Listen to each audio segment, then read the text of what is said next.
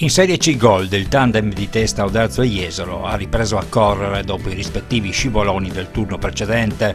Del resto la giornata era di gran lunga favorevole per il riscatto, dovendo affrontare le ultime della classe. Niente da fare invece a Corno di Rosazzo per la SMEC Caorle, dove pure ha presentato il nuovo acquisto Alfredo Moruzzi, arrivato in settimana a rinforzare il reparto dei lunghi ormai orfano definitivamente di Buscaino, Nardin e Sadikowski, Tuttavia i litoranei sono scesi in campo privi del play titolare Luca Bovolenta, questi operato per la riduzione di una frattura al setto nasale, il che ha costretto giocoforza coach Ferraboschi a rivedere talune situazioni di natura tattica, facendo nuovamente della SME un vero e proprio cantiere a cielo aperto.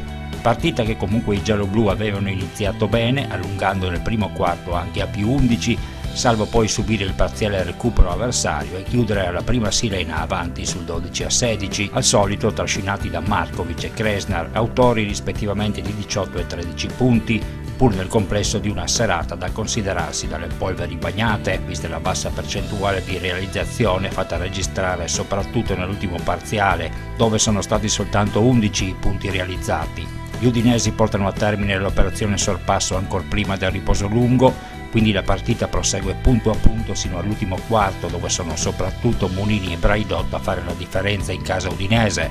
Il prossimo turno adesso riserva Padova, sfida assolutamente da vincere nel contesto di una classifica oltremodo corta per non rischiare complicazioni in ottica playoff.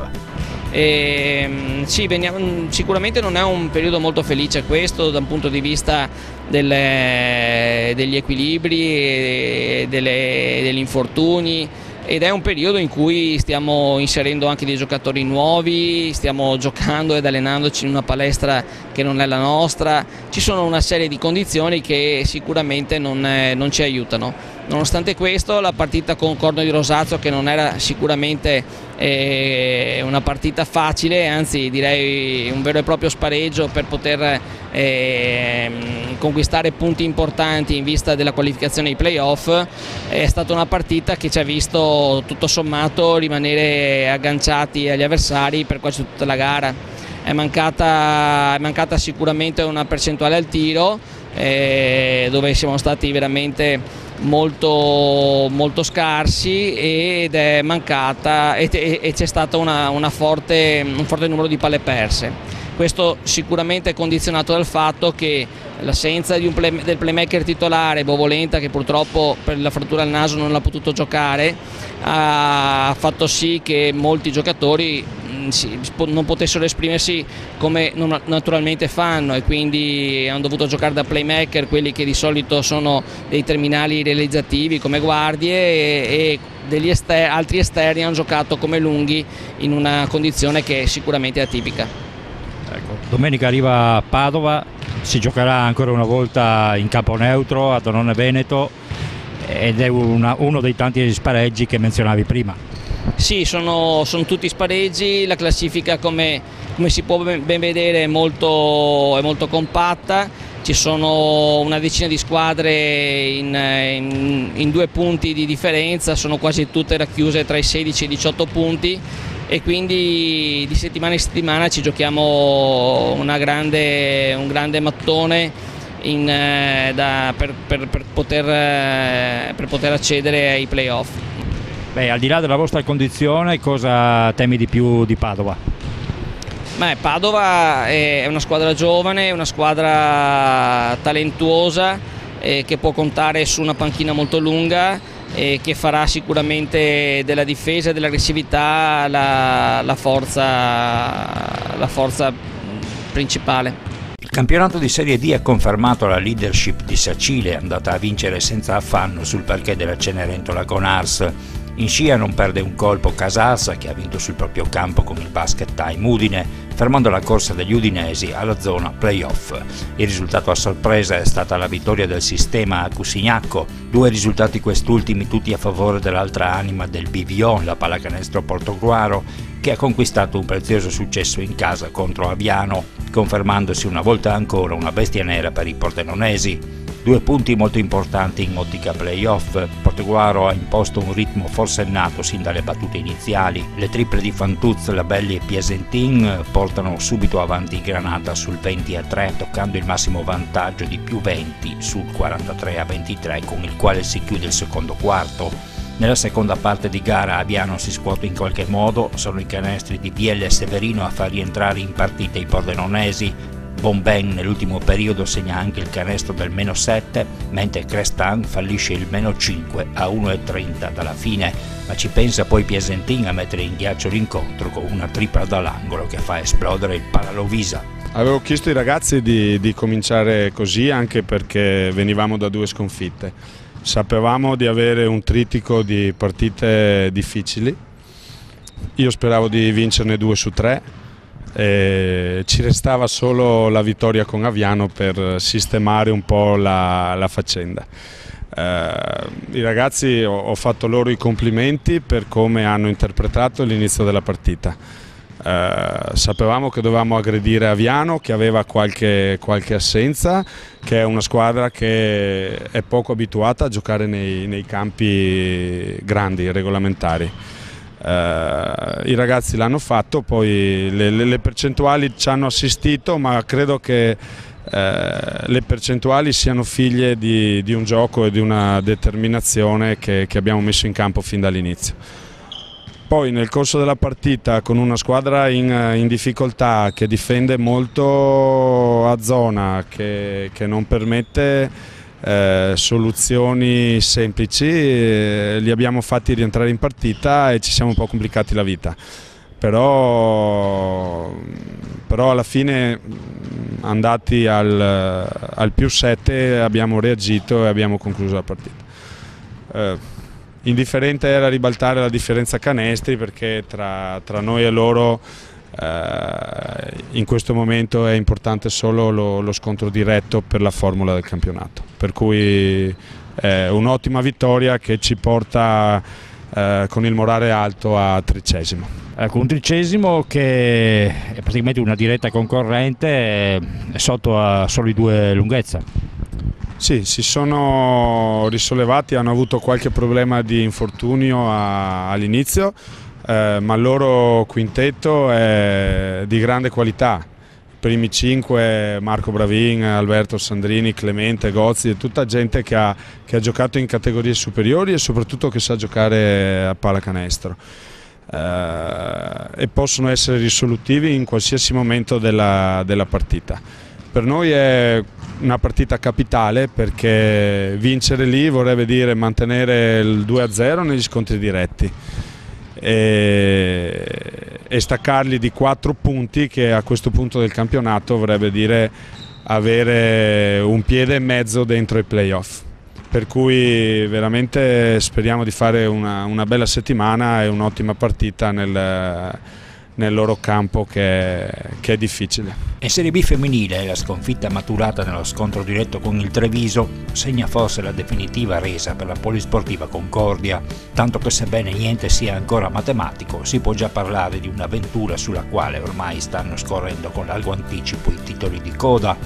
Trascinate da Speranzoni, autrice di 22 punti, le trevigiane prendono subito il largo toccando anche il massimo vantaggio di più 11 nel corso del secondo quarto, Dopo l'intervallo lungo Concordia, in controtendenza con quanto aveva sempre mostrato nei precedenti incontri, quando era stato il terzo quarto a segnarne la resa, reagisce e rientra in partita sino a ridurre il divario a meno 3, ma Treviso cambia nuovamente passo e grazie ad una serie di triple affossa in modo definitivo le biancorosse. Venendo alle categorie minori, in promozione sono andate a segno Pallacanestro Fossaltese e BBO Basket Veneto, rispettivamente a Maniago e a Fontana Fredda, Annonesi che adesso guardano tutti dall'alto della classifica, che peraltro continua ad essere cortissima. La Fossaltesi insegue a quattro lunghezze. A Maniago i ragazzi di coach Giollo hanno ritrovato gioco e convinzione nelle proprie possibilità, sapendo adesso di dover raggiungere quella continuità di rendimento che consenta loro di entrare in zona playoff.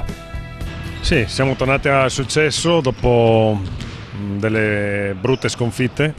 Okay eh, ci abbiamo creduto fino alla fine, si è vista finalmente l'anima di questa squadra, di questo gruppo e stando concentrati facendo il nostro abbiamo giocato, abbiamo, giocato, abbiamo portato a casa la partita. Una squadra che sta crescendo pian piano mm, sotto il profilo del gioco. Sì, piano piano, molt, molto piano, eh, come si stava parlando in questo periodo qui abbiamo un sacco di innesti nuovi quest'anno a differenza del gruppo vecchio, uh, è un anno e mezzo che ho cambiato un modulo di gioco completamente uh, totalmente diverso da quello che era da anni qui, quindi non sono cose facili da mettere, da mettere in piedi integrando giovani, integrando nuovi, no, nuovi innesti come appunto da altre società e quindi ci stiamo lavorando, insomma, poi vedremo quando, quando riusciremo a essere completamente a regime. Un campionato piuttosto interessante perché raggruppa la quasi totalità delle squadre in pochi punti, eh, con un po' di continuità i playoff sono ancora alla portata. Sì, facciamo le corna, sono ancora alla portata come possono essere anche i playout eh, o come essere nella classifica di mezzo e andare fuori subito a, a, metà marzo quando finisce il campionato e poi fino a settembre prossimo anno uh, non, non, non si fa niente. Noi stiamo lavorando sempre di più, palestra, anche, abbiamo avuto anche qualche acciacco, influenze, abbiamo avuto, ripeto, un periodo natalizio brutto dove era soprattutto da lavorare, non siamo riusciti e quindi poi alla fine si paga tutto. No? Eh, oltretutto il calendario è dalla vostra perché le prossime partite saranno quasi tutte in casa. Sì, abbiamo un filone di partite in casa, eh, dovrebbero essere 5, ok? Ne prendiamo una alla volta perché il nostro eh, problema maggiore appunto è il discorso della continuità, la testa, la concentrazione, sono tanti fattori che dobbiamo consolidare prima di, di, di, di cantare vittoria quindi tranquillamente ce ne prenderemo una alla volta eh, e vedremo poi alla fine cosa riusciremo a portare a casa. Domani sera eh, c'è lo scontro casalingo appunto con il Fontana Fredda, una partita sulla carta ampiamente alla vostra portata visto che i portanotanesi sono la cenerentola di questo girone. Sì, ehm, però lo stesso sarà una partita ostica come tutte le partite di questo campionato quest'anno. Non ce n'è una da lasciare, eh, come posso dire, eh, da prendere con superficialità. Non vuol dire niente che una sia ultima, penultima, ehm, non, non, questo non vuol dire assolutamente niente. E giocheremo, cercheremo di, di imporre il nostro gioco, i nostri ritmi e poi vedremo cosa verrà fuori. Baloncesto invece martedì sera ha affrontato Lazzano Basket, è arrivata una sconfitta per 43 a 55 che interrompe una serie di quattro vittorie consecutive. Gli arancionieri sono rimasti in partita per i primi due quarti, quindi Azzano ha scavato il solco vincente a rientro dopo l'intervallo lungo che vale il terzo posto in classifica. Sì, per noi questa, questa vittoria è importante perché eh, veniamo fuori da un periodo eh, di... Eh, debolezza, eh, chiamiamola come, co così, debolezza, però eh, eh, questa sera abbiamo dimostrato di eh, essere una squadra giovane ma eh, importante in questo, in questo, settore, in questo mondo eh, del basket, della promozione. E sono felice, sono contento dei nostri ragazzi che si sono comportati veramente nel modo giusto, quello che avevamo chiesto durante la settimana e, eh, è, è, arrivato, insomma, quindi hanno giocato bene, di, discretamente bene e eh, hanno, si sono impegnati e hanno dato tutto quello che potevano. Sesto comunque è una bella squadra, eh, abbiamo avuto mh, mm, difficoltà ad affrontarla, a eh, ehm, superarla eh, perché è una squadra comunque che sta bene in campo è importante eh, e sicuramente nel, nel campionato riuscirà a dare anche molto di più di quello che fino adesso sembra abbia dato. Um, noi siamo felicissimi di aver vinto con il baloncesto perché è una squadra eh, secondo me tosta e importante. Poi è un campionato decisamente corto, una vittoria in più, una in meno cambia molto, si può passare dai playoff ai playout, eh, è un po' tutto da vedere. Sicuramente, eh, dai playoff ai playout è un attimo, eh, una vittoria in più, una vittoria in meno ti porta a eh, eh, rinunciare ai playoff o entrare nei playout. Eh, noi speriamo e stiamo lottando per arrivare almeno ai playoff, insomma quello che siamo abituati da diversi anni ad arrivare e quindi ehm, per noi i, play, i playoff sono importantissimi. E allora coach, a volte magari ci si sforza di vedere qualcosa di positivo nelle sconfitte e questa sera c'è qualcosa di positivo in questa battuta d'arresto? Beh, è difficile trovare qualcosa di positivo. Eh, diciamo che dopo quattro vittorie consecutive ci poteva anche stare una sconfitta, eh, questo è il gioco. Eh, diciamo che avevamo, venivamo da un, una decina di giorni dove non ci siamo allenati per mancanza proprio della palestra che hanno rinnovato le luci. E ieri i ragazzi dell'Under 20 hanno giocato e vinto bene, ma hanno preso un sacco di botte, erano mm, malconci abbastanza. E dopo il secondo quarto avevamo giocato fino a quel momento non benissimo, ma comunque avevamo tenuto il campo, eravamo anche in vantaggio. E abbiamo avuto un approccio al terzo quarto un po' dismesso e ci siamo fatti mettere un po' le mani addosso e ci siamo fermati. E lì abbiamo preso quel break che ci siamo portati fino alla fine. Noi dobbiamo cercare di far bene, di far crescere questi ragazzi qui, questo era il nostro primo programma quest'anno.